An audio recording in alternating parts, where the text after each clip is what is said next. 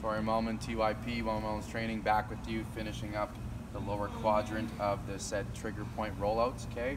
Now we have reached the hip point, okay? At some point, your side fascial line, front fascial line, back fascial line will meet at said hip joint.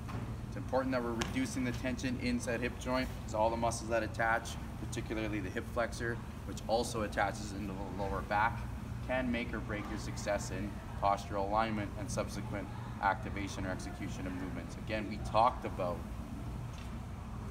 those postural disadvantages or those imbalances that can now only lead or load certain muscle groups and cause an overload or an imbalance, which in turn can cause some overusage and can cause some pain, tightness, and unfortunately some injuries.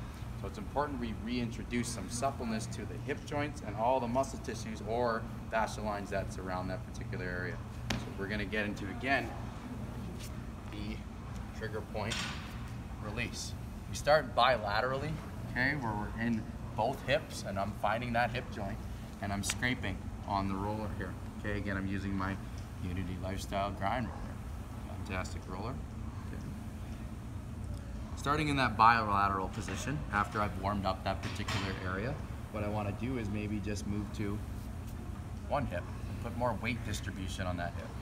Now when I'm in that set hip, you may notice my foot is internally rotated. I'm going to stimulate a different component or different area of that hip if I'm in that type of position and I need to investigate. So I'm going to check out both foot positions to now maybe scrape the internal component of the hip.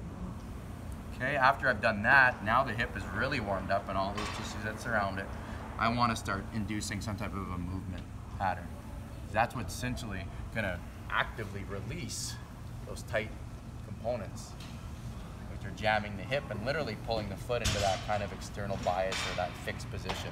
So it's important I'm regaining some space or some suppleness in said area by doing techniques such as these, okay?